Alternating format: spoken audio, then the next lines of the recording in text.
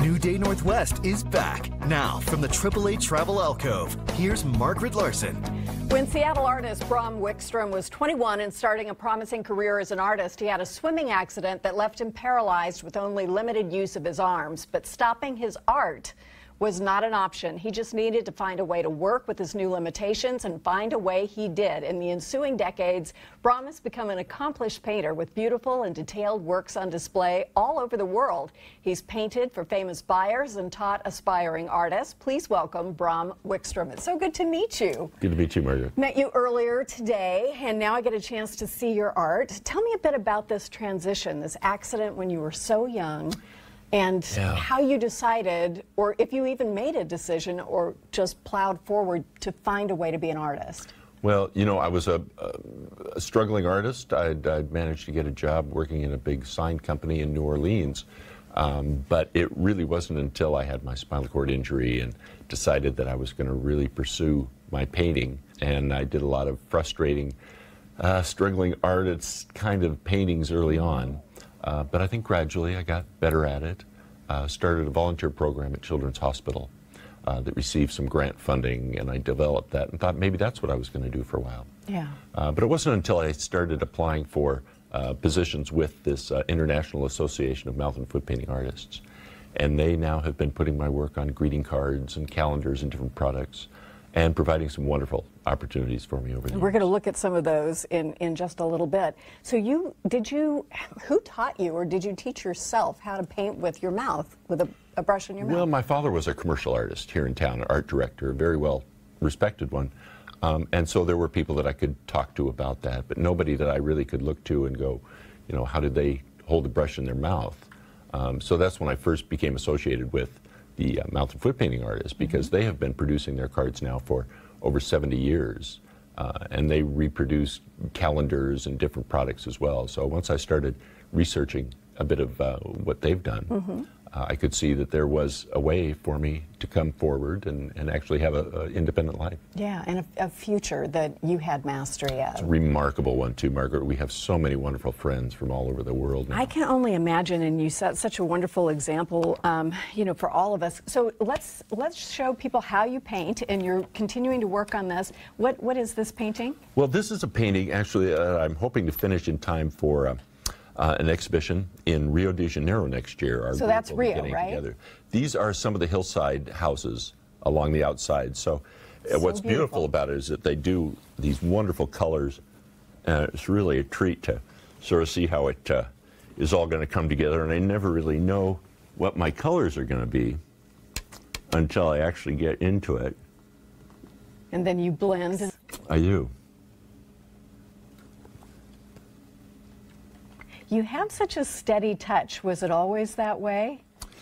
Um, yeah, I think so. You know, I really did kind of start out with some pretty uh, discouraging things at first, but a few things that didn't quite work out. Yeah.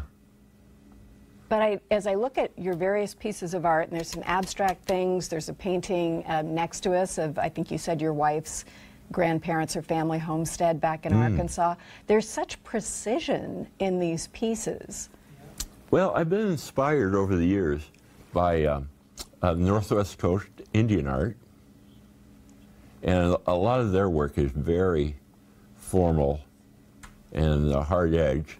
And I think also with my uh, uh, commercial art background, there's a lot of that also. We're looking at some pictures of, of your art right here. It's all kinds of things. I mean, you do uh, different genres so successfully.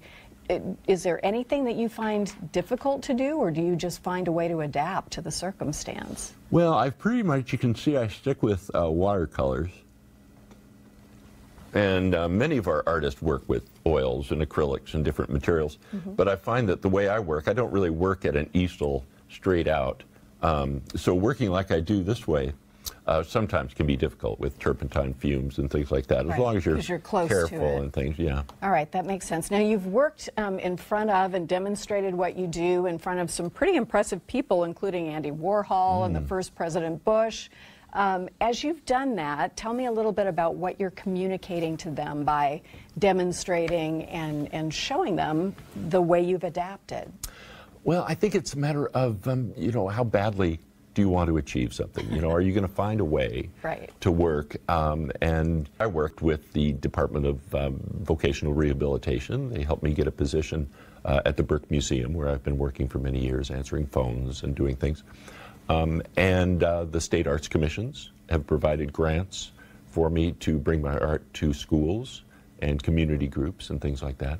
That's such an um, important thing for kids. Oh, it's wonderful. Um, to kind of see that you can adapt to yeah. what life and has in store for you, through. even if you don't yeah. necessarily ever see it coming. You really don't. You know, I was 21, and I guess that was kind of a period of time when, you know, I was young enough that I could kind of learn to adapt to the situation a little bit, but old enough that I'd, I'd have a pretty active life prior to that and did a lot of adventure travels and things like that. So I didn't feel like I missed out on too much. Well, for a lot of people, if something happens like that at a, at a young age when they expected a different sort of life, that transition can be pretty tough. What do you think got you through that? Yeah, well, I think um, for me, uh, you know, it was my faith. Um, it was the the love of a good woman that uh, we've now been together over 30 years, and Yay, where she keeps she? me going. There She's over there.